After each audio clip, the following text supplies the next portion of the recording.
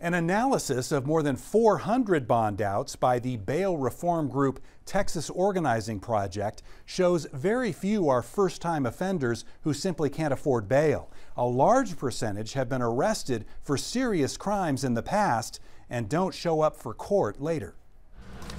All right, I got seven bonds today. Texas Organizing Project, or TOP, wants to abolish cash bail, which it says is discriminatory against the poor.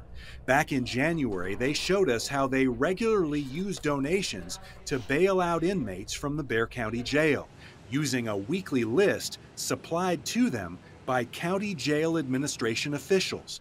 The county and TOP say the group is bailing out only low level offenders who don't pose a risk to public safety.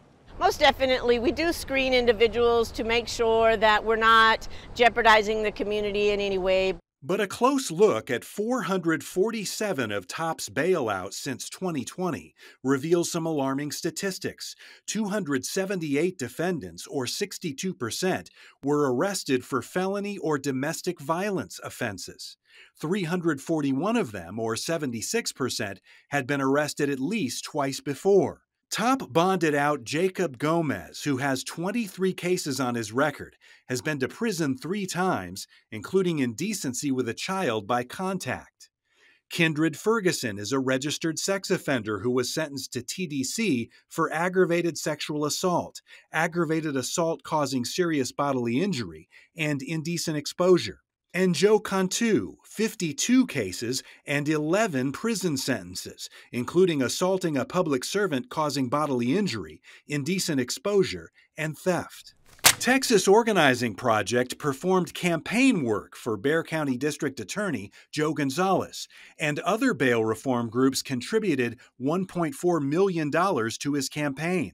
Earlier this year, we asked why the county helps TOP with bailouts. If you know of any cases where they are they are bonding out uh, serious criminals with that is endangering the, the community, I'd be more than happy to look at that. When we requested an interview with Gonzalez this month about the cases we found, he would only send us a statement.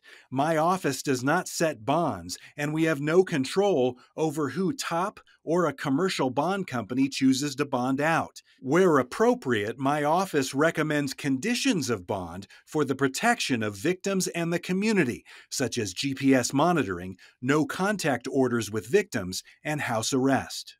We wanted to talk to Texas Organizing Project about two other findings. 31% of those bonded out did not show up at court later, and 65% ended up reoffending, but TOP has not responded.